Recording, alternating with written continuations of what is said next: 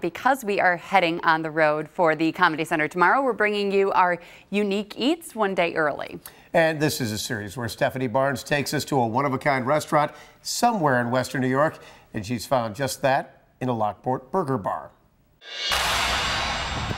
Good morning. It's Stephanie Barnes, Daybreak reporter and resident Unique Eats correspondent. I take you to the latest, greatest, tastiest, and of course most unique restaurants around Western New York. Today we find ourselves in Lockport at Old City Hall here on Pine Street, where we're going to head inside and check out a stuffed burger bar. Follow me.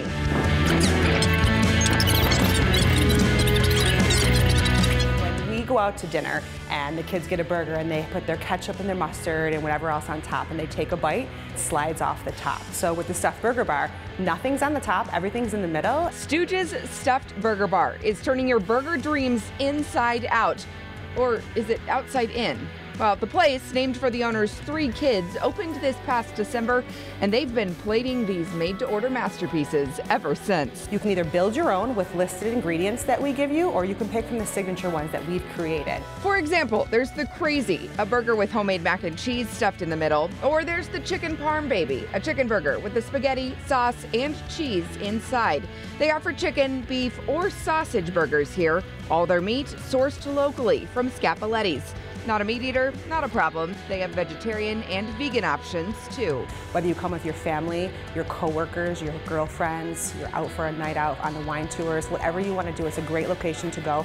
The menu is great and you're going to get a burger like no other. A burger like no other in really a place like no other. Old City Hall is on the National Registry of Historic Places bringing some extra significance for some to their dining experience. Whether it's their marriage certificate they got here, or it has been numerous bars and it's been a location that they've been to, everybody has a story from this building.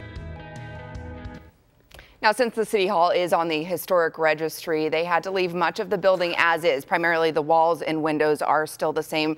If you want to check it out, either for uh, the place or the burgers, they are located again on Pine Street. They're open Tuesdays through Sundays. For lunch and dinner, I could go every single meal, honestly.